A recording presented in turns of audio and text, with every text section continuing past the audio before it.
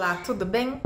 No vídeo de hoje eu vou mostrar para vocês o agaporn de um dia de vida até um mês de vida, tá? Assim como eu fiz com, as calopsi, com a calopsita albina, bebezinho da Jade. Começou a nascer agaporn aqui, então eu vou mostrar para vocês esse desenvolvimento do primeiro dia de vida do, desse filhotinho até ele completar um mês de, de vida. Vamos lá?